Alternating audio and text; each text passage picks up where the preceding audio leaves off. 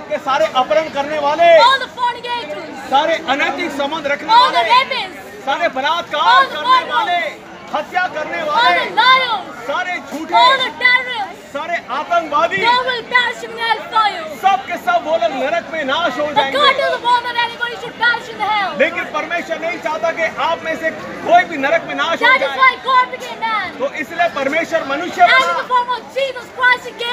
और यीशु मसीह के रूप में इस संसार में आ गया। वो आया और वो मारा गया आपके पापों के लिए क्रूस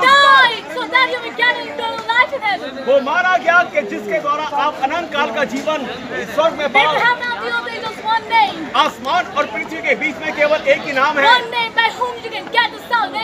केवल एक ही नाम है जिसके द्वारा आपका उद्धार हो सकता है। वो नाम है यीशु मसीह का। मार्ग और सत्य और जीवन नहीं ही हूँ। मेरे बिना कोई पिता के पास नहीं पहुँच सकता। अपने पापों से मन गिराओ। क्योंकि यीशु मसीह जल्द आ रहा है। सारी भविष्यवाणी जो जो बाइबल में है वो सब कुछ हो रही the है प्राकृतिक आपदाएँ ये प्रतिदिन बढ़ती ही जा रही है। महँगाई बढ़ती जा रही है।